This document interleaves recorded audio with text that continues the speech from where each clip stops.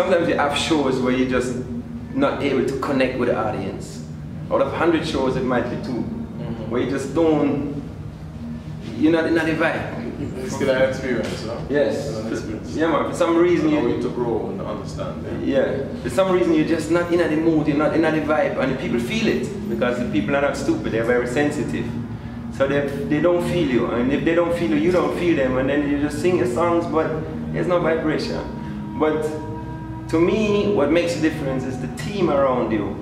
You know, the surrounding is very essential for a good showcase too. So if you put that in your mind that you have some wonderful musicians around you, some wonderful singers on stage with me, nothing can go wrong. So you can just start give love to the people, and the moment you give love, you receive love, you know. I am a stage man. I love to be on stage. I feel more comfortable on stage than beside the stage sometimes, you know. So there's something, when I go on stage, I know I'm going to mash it up. So I got this confidence, you know. So it's like, there's no worst experience if I think about it now, like for example, Sting Festival in Jamaica, you know, Jamaican people are very real people. If they don't feel it, they show you, you know. So there was a festival where they'd sing and people start show buckets.